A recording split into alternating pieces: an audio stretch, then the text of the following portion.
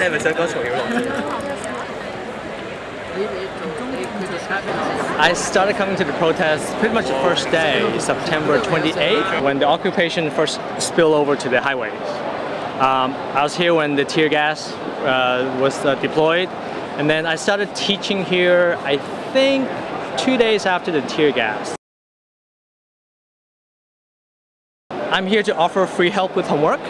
And be, because I'm a practicing lawyer and I also teach English and law in my spare time, I figure how I can contribute is to help people with their law homework, with the journalism projects, with the essay writing and whatnot.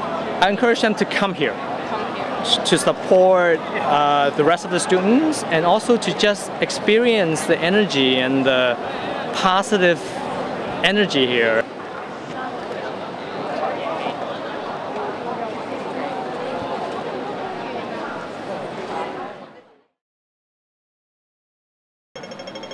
喺佔中嘅期間，誒、我哋民間電台係發揮到我哋嘅作用咯。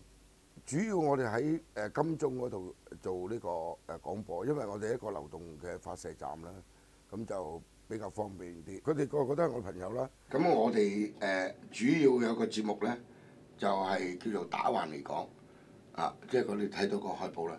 打橫嚟講呢，就係、主要呢，就係、講誒、香港嘅政治時弊。